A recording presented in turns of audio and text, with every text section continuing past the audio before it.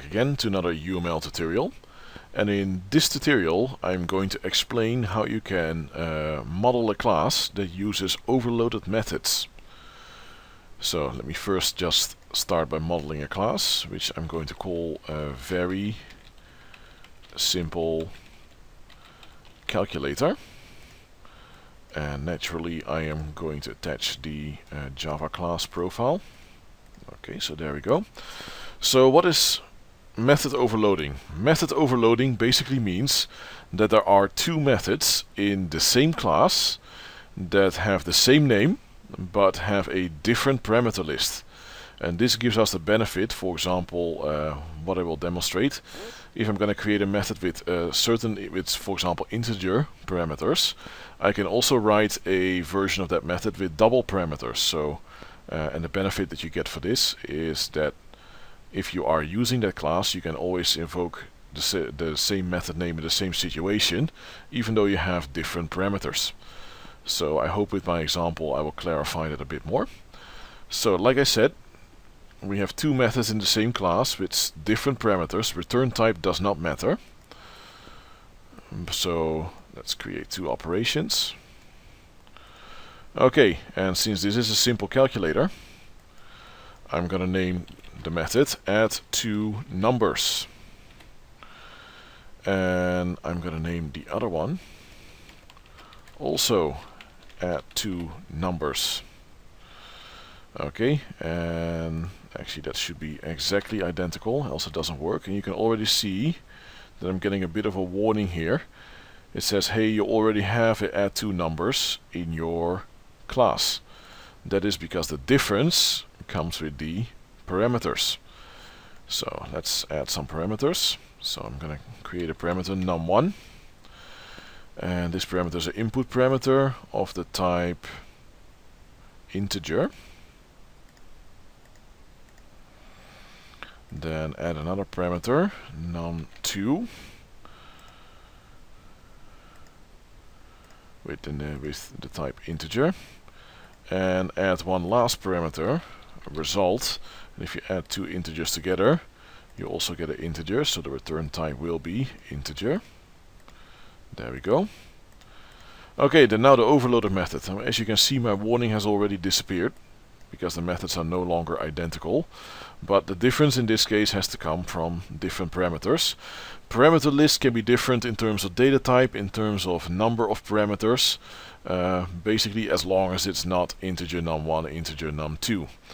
Uh, variable names however do not matter, but data types do. Okay, so let's add two parameters in this case as well. So again I'm going to name it num1 because name doesn't really affect it, but the data type does. Uh, so I'm going to make it double for the first parameter. And since it's easy to add two number two double numbers together, I'm going to make the second parameter also a double. And just to keep things really simple, the return type is also going to be double. So if you add two doubles together, you will get a double as a result. Okay, so let's set them as Java methods. Okay, so there you have it, two overloaded methods. Um, in this particular case I want to go one step further and I also want to demonstrate how to model overloaded constructors. But for that normally you would model your constructors first but uh, the other way around is also possible. Anyway first I need to create an attribute and I'm gonna, gonna name this attribute name which is gonna be the name of the simple calculator which is going to be of the string data type I'm going to set to private like most attributes and then I'm going to create a constructor. So again I'm going to drag a operation and what makes a constructor a constructor? Well it needs to be the exact same name as the calculator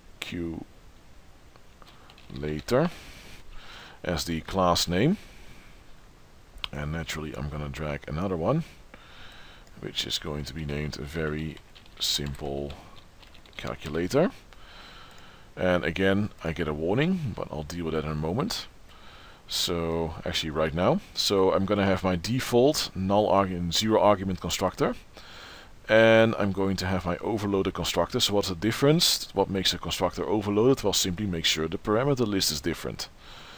So in this case, I'm going to add a parameter named name because I'm going to set the name, which is of the data type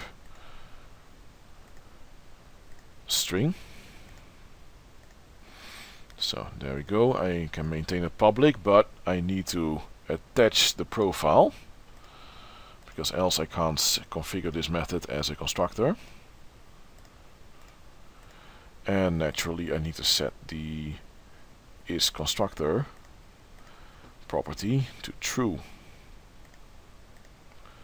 So there you go. So now we have two overloaded methods and two overloaded constructors. So let's now go ahead and generate the code. But before I do, I'm going to rename this project from my previous video, which was the inheritance example. Why? Because else my code will be overwritten. Okay, so let's generate the Java code this time. So there we go, we have a new model project with a very simple calculator class. So there we go, so we have uh, name, get name, set name add two numbers with two integers, add two numbers with two doubles, you can note the same name. And I have my default constructor and my overloaded constructor. So in this case, to just do a quick implementation, the default constructor will just set name to null. The overloaded constructor will set the name to the name provided.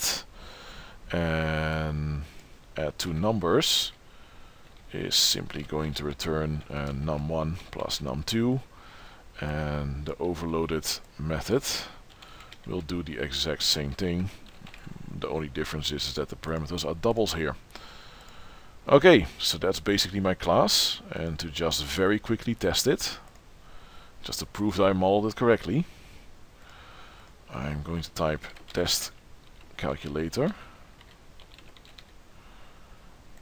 there we go so I'm going to create an instance of very simple calculator.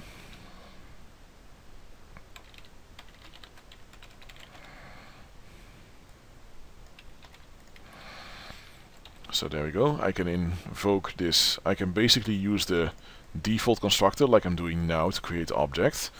But I can also use the overloaded constructor by invoking it, as you can see, no error occurs because my uh, Java compiler will automatically switch between uh, one version of the method or the other version if necessary. Same thing I can do by add two numbers, so I can add 7 and 5, which are integers. And I can also do the same thing with doubles, so 4.1 and 3.2. So there you go. As you can see, no errors occurs because in this case it will simply take the method with the integers and in this case it will simply take the method with the double. However, if I do this, try and squeeze, uh, oh of course this does work. Uh, why is that? Because this can serve as a double and this is a double so it's double double. Yeah, I would have two do uh, a bit more tricks to actually get this to crash. Um, for example, if I add another number, there's no version of this method with three parameters, so therefore I will get an error. So as a matter of fact, it will even suggest to me to create the method add to number with integer, integer, integer, meaning create a third overloaded method. Okay, that's in a nutshell how we model overloaded methods inside a class. So I hope this tutorial was useful for you and see you next time.